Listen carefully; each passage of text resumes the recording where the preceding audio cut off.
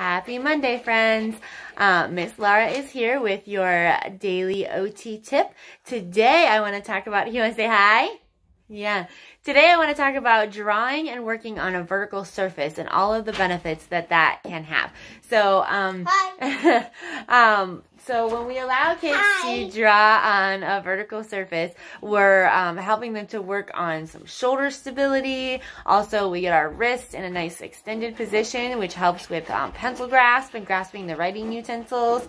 Um, it can work on um, bilateral coordination. So I don't know if you notice over here, Thomas is using his one hand to hold the paper while the other hand is drawing, which can really help. You can also use stencils and having to hold a stencil while you trace it on a vertical surface can be really helpful. Hi, buddy. Um, also, some of our kids might prefer to stand to work um, and draw. So it's a great alternative just to sitting at a desk and a table all the time.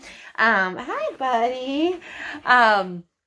Um, also, it's great for visual motor um, integration. So, um, because a vertical surface puts puts the picture and what they're working on more at eye level, it's really good for that eye-hand coordination and also just developing a visual appreciation for how to put together um, shapes and drawings and letters and numbers and all of those kinds of things. So, Hi, buddy. So, um, there's a couple different options for vertical, vertical work. Um, obviously, I don't know if you can see right here, we have an easel. So, um, the one side of our easel has a chalkboard on it. The other side has a whiteboard. Uh-oh, our paper's falling down.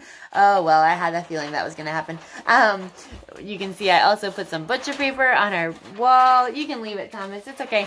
Um, so we can draw on the wall that way. Um, chalkboard paint is a great way to um, make a wall into just a giant chalkboard or get a big chalkboard and put it on the wall. Um, you can also take dry erase markers and write on windows and big mirrors. Um, I know in our old house we used to have a, um, a big, big kind of whole wall that was a mirror and we used to draw on that and, um, and kind of work on that as well. So lots of different options. explore what you got around the house to just just work on a vertical surface. Older kids, um, you can, you know, do worksheets and homework on a, you know, have have mom or dad put the, the paper on the wall and um, it might be a great alternative to doing your work. Oh yeah? so, um, Okay, this video has been a little scattered, but anyway, so those are my thoughts. Um, any questions, leave them in the comments. Any thoughts um, or examples, um, show me show me what you got, show me um, your ideas. But again, vertical surfaces are a great way to work on that shoulder stability, wrist extension, pencil grasp, and just overall coordination and visual motor integration.